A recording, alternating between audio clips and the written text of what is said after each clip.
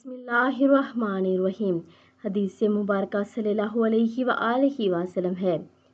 हज़रत अबू हुरैरा रज़ी अल्लाह अन्हो रसूलुल्लाह सल्लल्लाहु अलैहि वसल्लम से बयान करते हैं कि जिस किसी के पास इसके भाई की जुल्म, नाजायज़ से मारी हुई इज़्ज़त या माल है इसे चाहिए कि वो अपने भाई को अदा कर दे, इससे पहले कि वो क़यामत के दिन आए और इसके कोई दरहम और दिनार कबूल ना किए जाएँ। अगर इसके अमाल सालहे होंगे तो वो इससे लेके, ले लिए जाएँगे और इसके साथी को दे दिए जाएँगे।